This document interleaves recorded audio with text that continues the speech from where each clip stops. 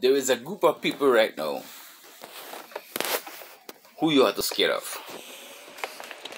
And do not forget when everything when everything if everything go back to normal do not do not forget who who is the beast.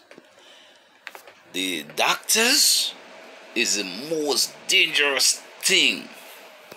You have to you, you have to afraid of doctors.